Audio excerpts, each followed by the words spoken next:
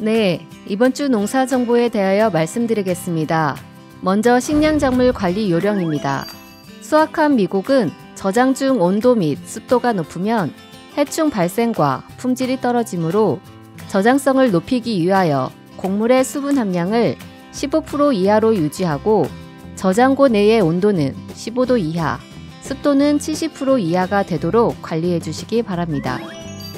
보리는 습해에 약하여 피해를 받기 쉬우므로 땅이 얼기 전에 배수로를 정비하여 습해와 동해를 예방해 주시고 늦게 파종한 지역은 퇴비나 볏짚 등 유기물을 피복해 주시고 복토를 충분히 하여 안전하게 월동할 수 있도록 관리해 주시기 바랍니다.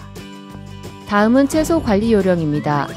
수확기가 된 가을 배추무는 기온이 내려가기 전에 서둘러 수확해야 하며 한 번 얼었던 배추는 바로 수확하지 말고 그대로 밭에 두어 기온이 상승하여 회복된 후에 수확하는 것이 좋습니다.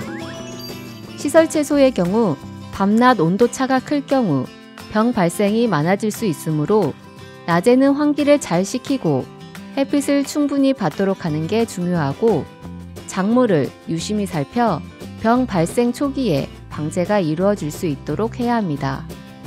다음은 과수 관리 요령입니다. 수확을 하지 않은 과실은 서둘러 수확하도록 하고 기온이 갑자기 내려가 과실이 얼었을 경우에는 바로 수확하지 말고 온도가 올라가 과실이 해동된 후에 수확하여 바로 출하하도록 합니다. 과실을 저장할 때는 먼저 선별 작업을 거친 후 통풍이 잘 되는 플라스틱 상자에 담고 온도는 영하 1에서 0도, 습도는 85에서 95%가 되도록 유지시켜주고 장기간 저장할 때는 저장 중 호흡에 의한 가스 장애를 받을 수 있기 때문에 환기를 실시하여 피해를 예방할 수 있도록 합니다. 끝으로 가축 사양 관리입니다. 낮과 밤의 일교차가 큰 요즘엔 어린 가축의 경우 체온이 급격히 떨어져 면역력이 저하되므로 보온 장비를 점검하여 야간 난방을 잘 해주시기 바랍니다.